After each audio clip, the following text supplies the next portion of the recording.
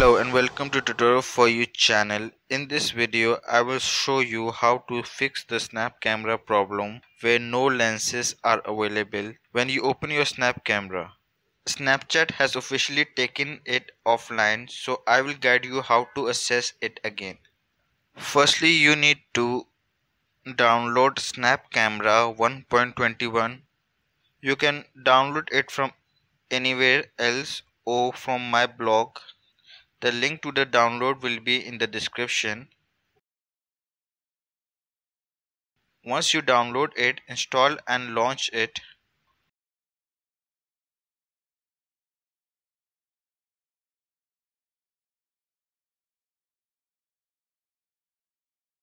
However, you still won't see any lens yet. To access the lens, go to this location on your PC, C drive, program file, Snap Inc snap camera. And in this folder find snap camera file. You have to upload this file to this website. The link will be in the description. Click on choose file then go to the same location.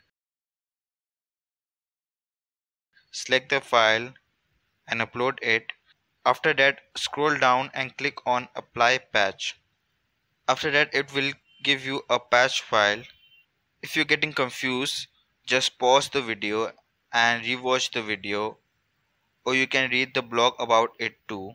Once it's downloaded, replace the original file of Snap Camera with the patch file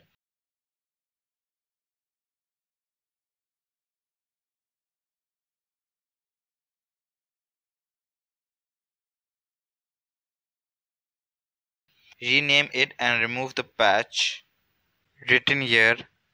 Now you can move the original file to another folder or just delete it. Finally reopen snap camera and you see all the lenses available.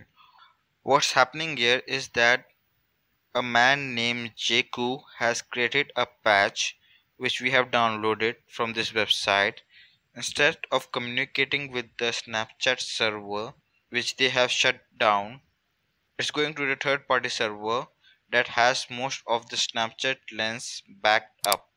I hope this video helped you. If it does, please give it a like. And if you want to support this channel, hit the subscribe button. That's it for this video. I will see you in the next video. Till then, take care. Have a nice day.